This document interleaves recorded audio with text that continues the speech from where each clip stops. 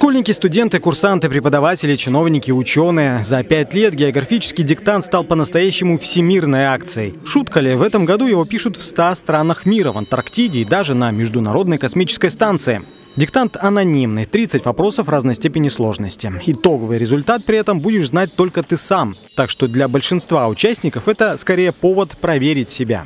Мы приходим, чтобы принять участие в этом, показать, что мы не безразличны географии.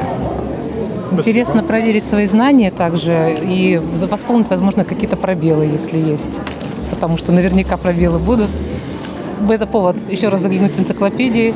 Реально интересно познать свою страну. То есть она не у нас не маленькая, большая. Всего не узнаешь, но все равно большую часть как бы понять стоит. Не зря мы с ней живем, богатая ресурсами, самая лучшая страна в мире. Я вот что залез в страны народа мира, так там половина уже переименована. Ты знаешь, как называется на Свазиленд?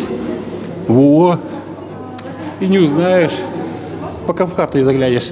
Участники-ветераны вспоминают, первые диктанты были довольно сложными, итог – низкие результаты. Последние пару лет характер вопросов изменился. Теперь они скорее на самые базовые знания и логику.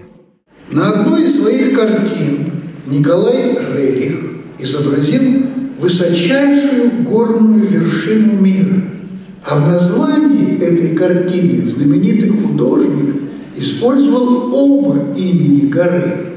Одно из них – Джамалунгма, а второе кстати, если вы не смогли попасть на диктант, но желание проверить свои знания осталось, то до 31 октября это можно сделать через интернет. А результаты будут опубликованы на официальном сайте РГО ровно через месяц, 29 ноября.